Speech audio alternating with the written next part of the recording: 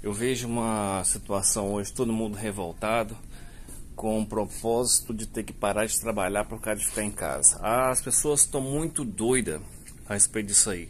Eu, quando eu decidi mudar minha vida, vim para os Estados Unidos, para mim ter uma situação diferenciada com minhas filhas, para mim poder brincar com minhas filhas, para poder viver a vida com minhas filhas num lugar mais tranquilo, que não ficar correndo atrás, nem vendo o que as outras pessoas têm e o que as outras pessoas estão produzindo, porque isso faz mal para a vida da gente.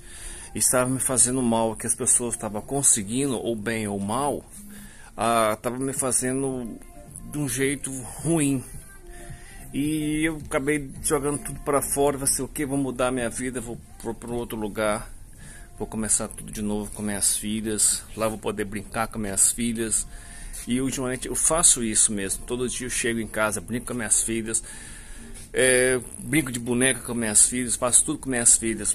E, e acabou que o mundo todo teve que fazer isso para todo mundo, todo mundo tem que se dispor um pouco para a sua família. Querendo ou não, você presta bastante atenção.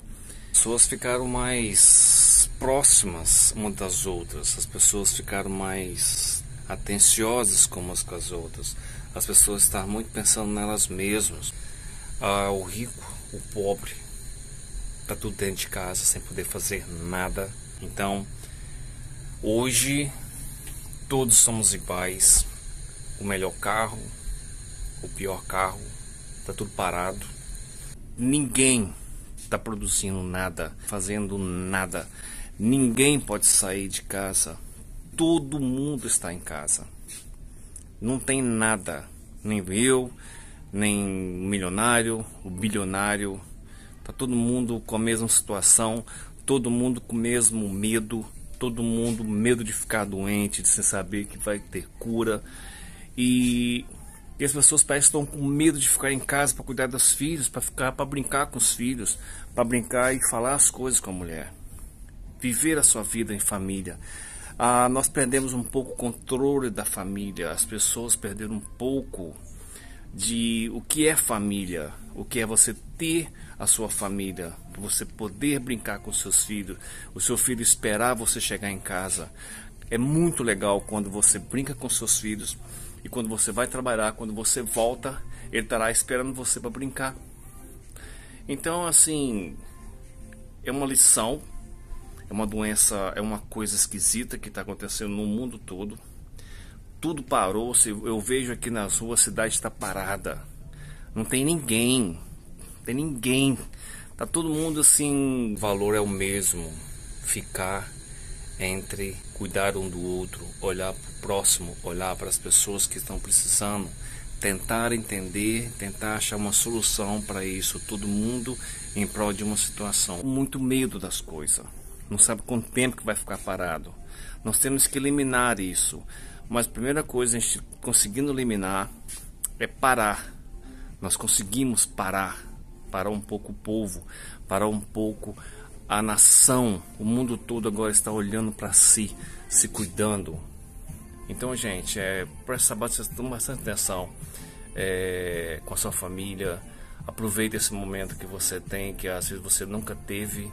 Aproveite esse momento de, de carinho, de ficar com seus filhos, brincar com sua mulher, é, cuidar dos seus pais. Entendeu? Hora de dizer para seus pais ficarem em casa agora.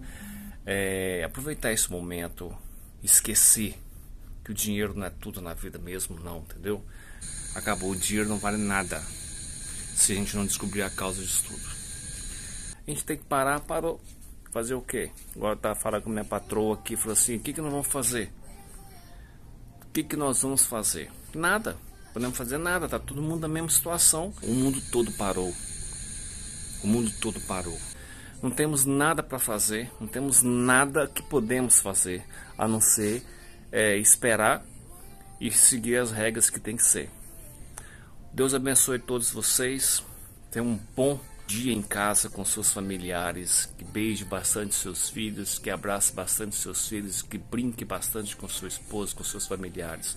Aproveite esse momento único e espero que venha mais tempos para nós se divertir, que a gente consiga compreender tudo isso.